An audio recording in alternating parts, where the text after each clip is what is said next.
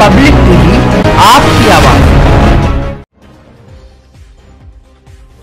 पुलवामा में हुए आतंकी हमले के प्रति लोगों का आक्रोश बढ़ता जा रहा है। संगठनों ने कैंडल मार्च निकालते हुए पुतले फूके और प्रदर्शन किए। हमले में अमर शहीदों को श्रद्धांजलि दी गई। उन्होंने सरकार से आतंकियों और पाकिस्तान का मुँह तोड़ जवाब देने की मांग की है। स्वतंत्रता सेनानी भवन में एक श्रद्धांजलि सभा का आयोजन किया गया। सभी ने दो मिनट का मौन रखकर अमर शहीदों की आत्मा की शांति के लिए प्रार्थना की। सभी ने मांग करते हुए सरकार से कहा है की आतंकियों और पाकिस्तान को मुँह जवाब दिया जाए।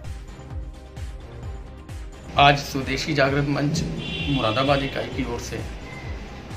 पुलवामा में जो आतंकी हमला हुआ और उसमें हमारे जवान भारी मात्रा में शहीद हुए। उन जवानों को श्रद्धांजलि देने के लिए आज सर्वधर्म श्रद्धांजलि सभा का आयोजन यहाँ पर हुआ है, जिसमें सर्व समाज के लोग, सब धर्मों के लोग आज यहाँ एकत्र हुए हैं और अपने श्रद्धा सुमन उन जवानों के प्रति और उन जवानों के परिवारों के प्रति सांत्वना दे रहे हैं और सरकार से मांग कर रहे हैं कि बहुत हो गया। अब भारत की जनता बर्दाश्त नहीं करने वाली। अब इसका कुछ ना कुछ स्थायी हल निकलना चाहिए। पाकिस्तान को तो करारा जवाब देना ही है। इसमें कोई दो राय नहीं है। लेकिन इसके साथ साथ अपने देश के अंदर बैठे हुए जो गद्दार हैं, जिन्होंने यहाँ पर हरदम अलगाववाद को बढ़ावा दिया।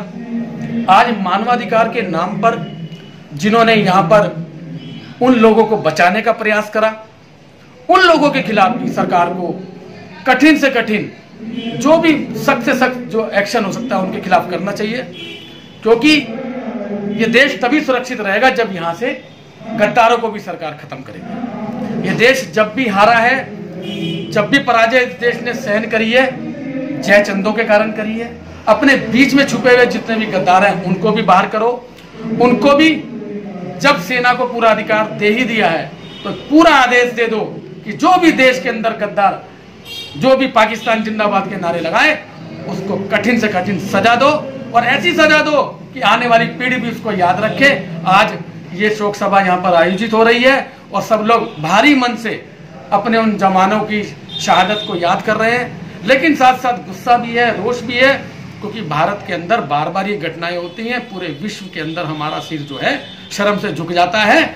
आज स्वदेशी जागरण मंच के माध्यम से यही आह्वान सभी कार्यकर्ता मिलकर और यहाँ पे मुरादाबाद के सब समाज के सब धर्मों के लोग यहाँ पर बैठकर ये दे रहे हैं।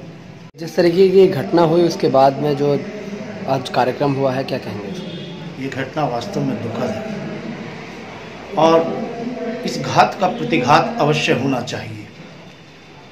कब तक हम पाकिस्तान परस्त लोगों के ये हरकतें सहते रहेंगे? उसने हमें धर्मों में बांटने का प्रयास किया। उसने हमें जातियों में बांटने का प्रयास किया है। उसने हमारी सेना पर हमला किया है। इसे छुपा हमला नहीं, ये खुला हमला है। इसका ज़रूर प्रतिकार होना चाहिए। हम चाहते हैं कि शीघ्र ही इसका बदला हो। पूरा देश इस वक्त सरकार की ओर देख रहा है और हृदय में आक्रोश लिए ये चाहता है कि बदला होना चाहिए। उसी उपलक्ष्य में आज हम यहाँ पर श्रद्धांजलि अर्पित कर रहे हैं। स्वदेशी जागरण मंच के संगठन एवं अन्य संगठन सभी मिलकर के यहाँ पर श्रद्धांजलि देंगे।